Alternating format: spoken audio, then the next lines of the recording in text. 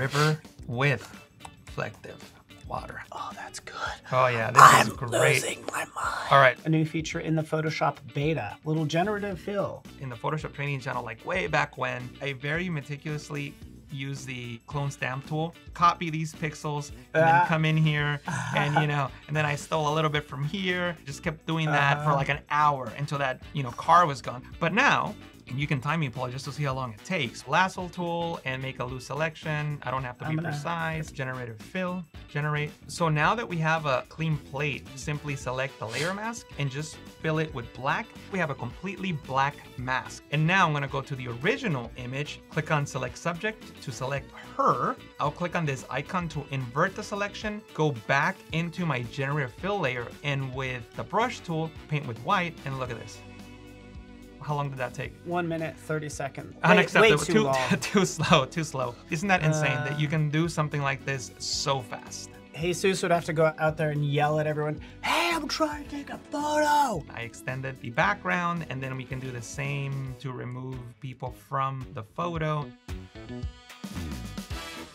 We go, people are gone. And another super cool thing is if you make a selection just around the bottom of anything really, and you type something like reflective waves, it hopefully will create this amazing, beautiful lake in front of the pyramid with the reflections. Look at that reflection point. If it'll do a bridge, well, we'll see. All right, the bridge is not bad.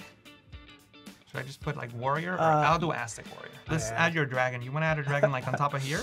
Yeah, but can you select more of the area? Is this what you have in mind? Yeah, just make sure you get some of the gigantic dragon with wings. Like Okay, eh, that so one's here, alright. That's not bad. That's not bad. Okay, that one's alright too. Ooh, That one's alright better. too. That yeah. one's pretty good. Yeah. Well, I'm gonna try adding another pyramid. I'm just gonna type in pyramid. I want to see if it does like an Aztec pyramid or like an Egyptian pyramid. Oh, interesting. So not bad. It, I mean, these are definitely not Egyptian pyramids. So we've been looking at just adding things to a photo or removing things to a photo, but you can actually create composites scratch, which I think is, is super cool. Like for example, I can make a selection here on the bottom and decide where my horizon line is gonna be. So like that'll be that line there, generate fill, and I can just type in grassy field with dirt patches. I'm gonna try uh, Almost- distant Wow. That's what that I'm talking a- about. Yeah, that made That's exactly what I'm talking about. See, distant, it just creates that depth. Yeah.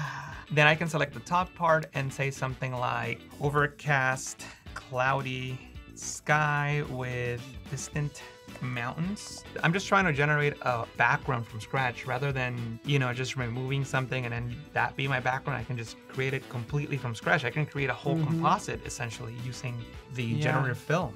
Ooh, let's see, which guy do you like better? I'm gonna type in broken down red barn.